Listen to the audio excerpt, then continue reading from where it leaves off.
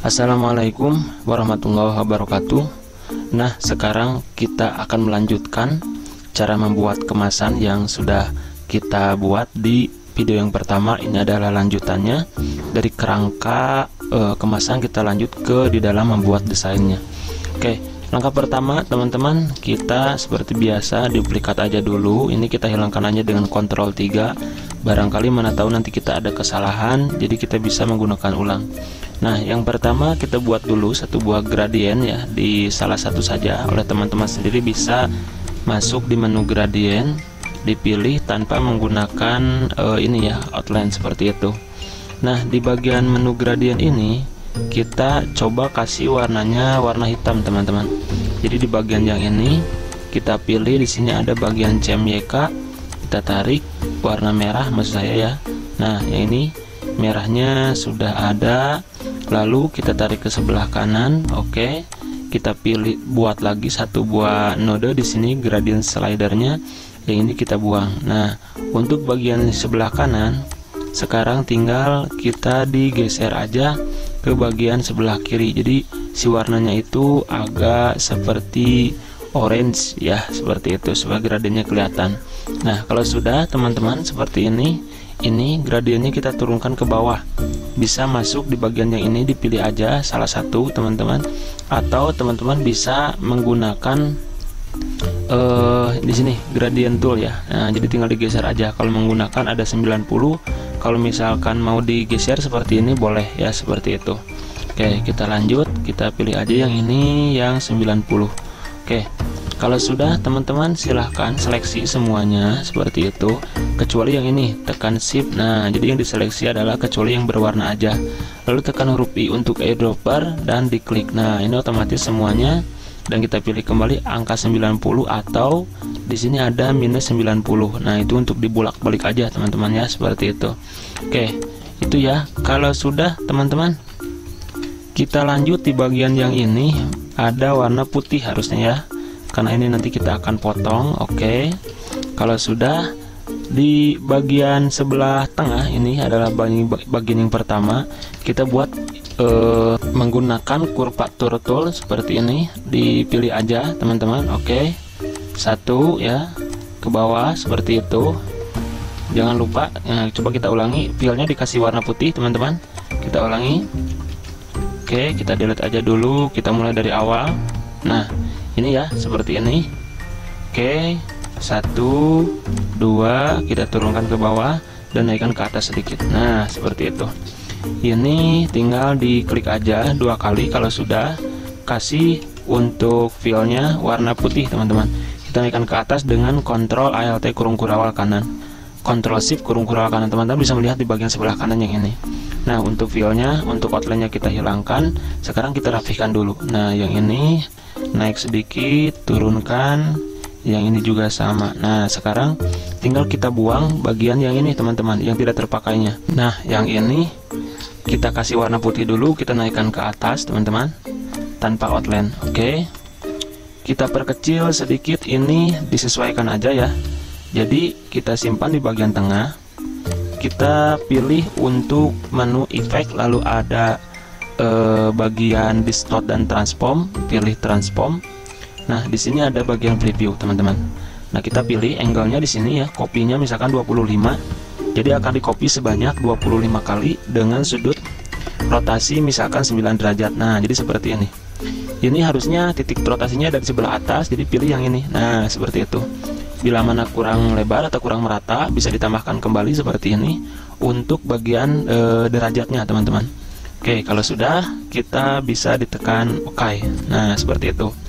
Nah, ini kan baru yang pertama, kita butuh dua teman-teman untuk bagian yang sebelah uh, ini yang mengisi kosongnya. Jadi kita copy dulu, Ctrl C, Ctrl F seperti itu ya. Lalu kita expand. Nah, jadi fungsinya expand ini untuk menghilangkan efeknya. Ini sudah objek biasa, tidak menggunakan efek lagi.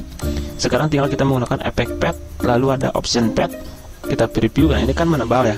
Nah, jadi tinggal kita perkecil aja tanda tambahkan tanda minus kita coba dikasih satu mili aja dulu nah ini tidak kelihatan karena memang objeknya berwarna putih nah kita tekan OK dulu kita coba dirotasikan nah sekarang udah kelihatan teman-teman Oke, kita kembali ke yang tadi di sini dipilih ada objek uh, appearance ya, pilih offset path-nya.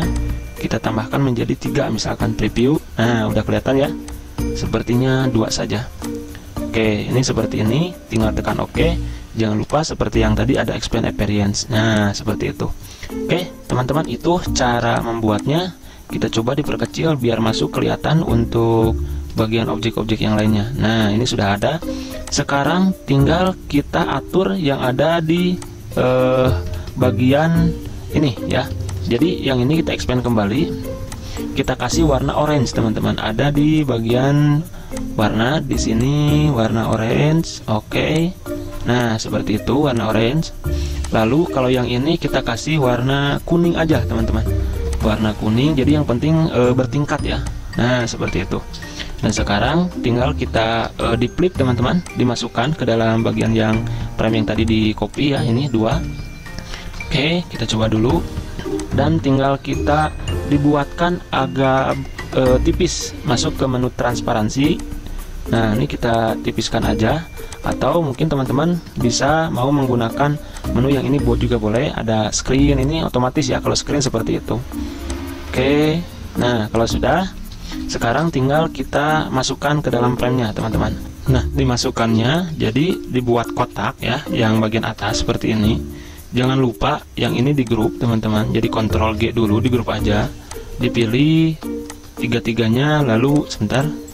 Ini Nah, di sini juga boleh tidak apa-apa, Ctrl F di luar jangan masuk ke mode isolated. Nah, jadi seperti ini. Nah, kalau sudah tinggal kita atur, jangan terlalu uh, kontras, teman-teman. Karena nanti kita akan dimasukkan produk ya. Nah seperti ini. Oke kalau sudah tinggal kita copy ke bagian yang lain. Tekan ALT di drag seperti ini. Tekan lagi ALT lagi. Uh, Ctrl Shift kurung kurawal kanan. Drag lagi seperti ini. Karena ini jadi ada di bawah ya teman-teman Ctrl D lagi. Nah jadi seperti itu. Untuk warna putih dan outline yang ini simpan di bagian paling atas. Sebentar oke. Okay. nah seperti itu jadinya teman-teman. Berarti ini juga sama kita grup dulu dan kita tarik ke, ke bagian sebelah kanan. Nah ini udah jadi ya. Untuk bagian frame-nya lanjut kita buat satu frame yang nantinya ini akan menjadi uh, bentuk transparan ya. Jadi kita bisa menggunakan kurvatur tool yang tadi sama bentuknya.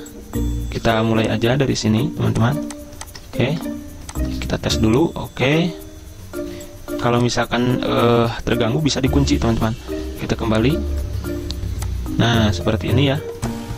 Oke kita turunkan ke bawah. Kalau sudah kita naikkan ke atas. Kasih warna abu-abu aja teman-teman. Ini untuk ciri saja. Barangkali nanti akan digunakan untuk uh, produknya ya kita buang dengan shape builder kita turunkan ke bawah dengan kontrol kurung kurawal kiri. Nah itu. Dan sekarang kita masukkan frame untuk jargon teman-teman. Jadi di bagian jargonnya itu camilan cita rasa untuk kita ya singkatan dari citruk. Oke kita buat aja seperti ini. Nah ini kita kasih warna oranye. Jangan lupa gambarnya harus kontras teman-teman. Nah kita buat di sini tiga baris aja ya tulis dulu camilan oke? Caminta ya camilan maksudnya. Fontnya saya gunakan di sini ada Acme teman-teman oke? Acme reguler ya ini dari Google Font camilan. Nah sepertinya ini sudah cukup oke? Fontnya warna putih aja tanpa outline. Dan kita turunkan ke bawah teman-teman. Satu agak sedikit menjorok ya oke? Nah yang ini uh, jadi posisinya ada di atas. Kontrol kurung kurawa shift kanan. Lalu kita kasih objek segitiga di belakang ya seperti ini juga tidak apa-apa. Kita kasih oranye dan kita turunkan untuk warnanya teman-teman. Jadi lebih orange lagi. Turunkan ke bawah. Nah seperti itu ya. Oke lakukan hal yang sama. Yang ini juga kita turunkan aja ke bawah menggunakan move tool teman-teman. Nah seperti ini. Oke ini berarti ada di bawah. Kontrol kurung kurawal kiri. Turunkan ke bawah hingga si objeknya itu pas. Oke seperti itu. Kita ganti citruk camilan cita rasa. Nah seperti itu ya. Oke kita hapus bentar nah ini untuk kita. Untuk kita. Hmm, kita kunci dulu semuanya. Karena kita ini kita akan olah ya. Biar tidak terganggu untuk bagian bawahnya. Nah yang ini kita buat aja. Lap. Nah seperti ini ya warnanya ngikut ke bagian yang ini. Nah seperti itu. Tinggal kita paskan dulu. Oke. Nah kalau sudah teman-teman ini boleh lebih lebar. Yang ngikut pada uh, jumlah katanya aja teman-teman. Oke. Sekarang tinggal kita miringkan. Jadi cara memiringkannya itu bisa menggunakan shear tool teman-teman. Ya ini ya. Kita grup dulu lalu ada shear tool. Nah seperti itu. Kita miringkan sedikit. Oke dimiringkannya harus satu kali ya teman-teman biar semuanya tidak berubah. Oke lanjut di bagian atas di sini ya. Kita buat satu buah uh, rectangle seperti ini. Lalu kita tekan huruf D naikkan ke atas. Nah yang bawahnya yang ini dilingkarkan. Oke. Kalau sudah dilingkarkan kita naikkan ke atas teman-teman. Nah seperti ini. Warnanya ngikut ke yang belakang. Gunakan saja eyedropper untuk rotetnya bisa dibalikan biar terlihat kontras. Turunkan ke bawah. Jangan lupa ini harus ada di bagian bawah. Nah dengan lingkaran ini ya jadi naikkan ke atas kontrol kurung awal kanan. Oke ini untuk judulnya maksudnya teman-teman. Kita ratakan dulu. Oke. Kalau sudah kita ratakan kembali. Nah seperti ini ya. Oke. Tinggal kita kasih warna putih di bagian bawahnya Ctrl C Ctrl F turunkan ke bawah kasih warna putih tanpa outline. Nah seperti itu. Lalu ini dikasih drop shadow teman-teman. Ada effect stylize dan ada drop shadow. Pilih aja di previewnya. Untuk posisinya yang ini kita kasih 0 aja. Dan jangan terlalu kontras. Nah paling eh, sekitar 20 aja. Kita coba preview. Kurang tebal 35 oke cukup. Lalu kita tekan oke.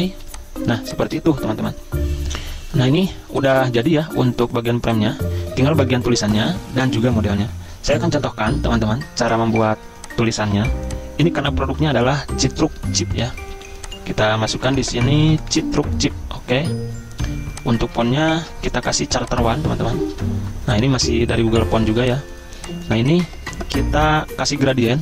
Di Illustrator kalau dikasih gradient harus digunakan ini Add New Fill ya yang ini Nah kita bisa pilih di bagian gradient Nah dipilih aja warna yang hitam putih. Nah yang ini. Nah dipilih tambahkan nodenya Dan yang hitamnya kita buang. Untuk lebih kontras teman-teman Jadi di Nah seperti ini.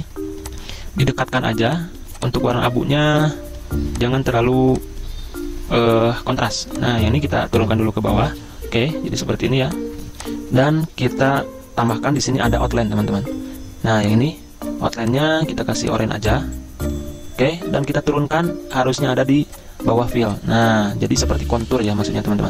Oke, seperti itu. Untuk I-nya tidak kapital, jadi yang kapital hanya C-nya aja ya, C-nya aja. Lalu kita turunkan ke bawah, kita kasih di sini RUK. Nah, supaya terlihat lebih menarik, teman-teman, jadi si konturnya atau si outline-nya itu harus lebih menyatu ya. Nah, kita tambahkan ini sekitar dua aja atau 1,5 juga boleh.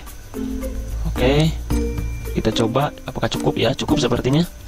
Lalu kita tambahkan cheat teman-teman. Nah kata cheat cheat truk chip. Nah chip ya bukan cheat chip chip itu jadi keripik maksudnya. Ini fontnya adalah Bristol teman-teman. Masih contoh-contoh yang saya gunakan itu dari Google Font ya biar gratis. Oke ini sudah seperti ini. Lalu kita seleksi semuanya tiga huruf ini. Dan kita gunakan shear tool teman-teman Oke. Sirtualnya tinggal dibuatkan nah seperti ini aja. Nah untuk ini kita grup dulu. Ini masih ada ruang kosong ya. Jadi tinggal kita buatkan dengan warna oranye aja. Jadi jangan ada ruang kosong ya.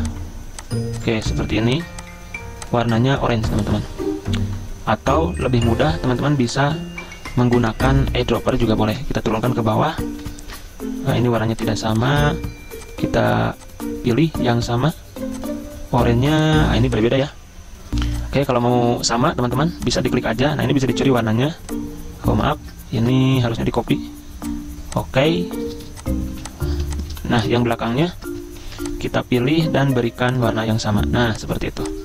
Oke ini udah jadi untuk tulisan mereknya tinggal kita kasih efek ada stylize ada drop shadow nah ini kebetulan kita kasih overlay aja cuma ini warnanya warna putih teman-teman. Untuk ini dikasih 100 aja 100% kita pilih preview. Nah ada sedikit ya karena ini overlay. Kalau mau lebih jelas bisa menggunakan screen. Ini dikurangi. Nah seperti itu juga boleh. Oke kita perbesar dulu. Oh, seperti itu. Tinggal dikasih pernak-pernik teman-teman. Seperti bentuk segitiga misalkan. Seperti ini kasih warna putih tanpa outline nah seperti itu ya. Silakan lah itu lebih mudah. Nah sampai sini teman-teman.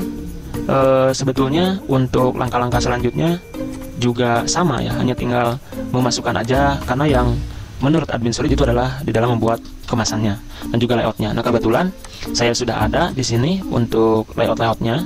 Jadi teman-teman nanti tinggal dimasukkan aja bahan-bahan yang sudah ada. Nah bahan-bahannya yaitu di sini ada bagian komposisi ya juga sama dimasukkan.